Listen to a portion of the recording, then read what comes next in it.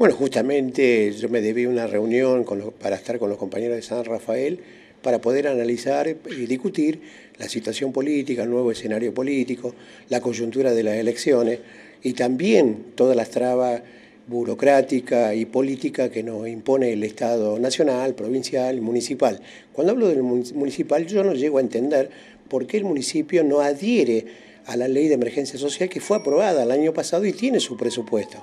Porque estos emprendimientos decir, si no es acompañado por, este, por eh, vía institucional y no es acompañado por el Estado municipal, es imposible que tenga éxito.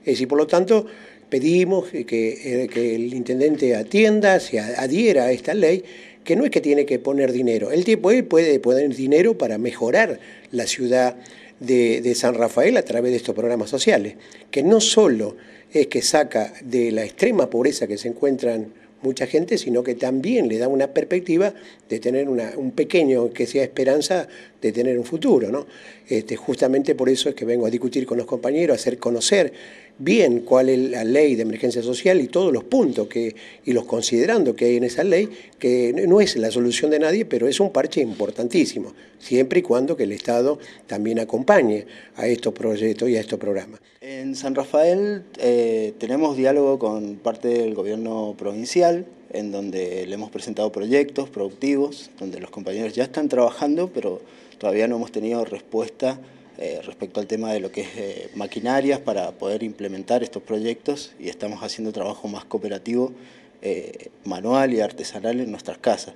Lo que estamos pidiendo con, urgencia sería que se implementen estos proyectos para que los compañeros desocupados o de la economía popular puedan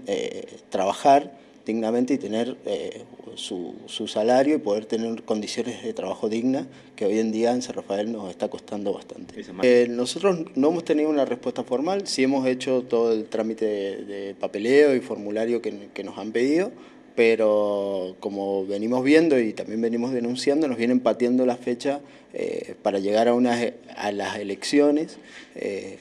tranquilo. Nosotros eh, entendemos esta situación de que el hambre no espera y que, la gente no, puede seguir esperando eh, los tiempos políticos que tienen los responsables de cada lugar.